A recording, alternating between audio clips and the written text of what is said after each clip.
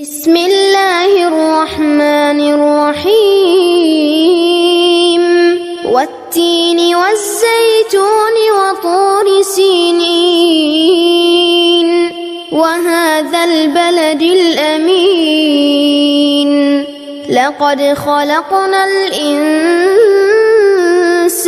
في أحسن تقويم. ثم أسفل سافلين إلا الذين آمنوا وعملوا الصالحات فلهم أجر غير ممنون فما يكذبك بعد بالدين أليس الله بأحكم الحاكمين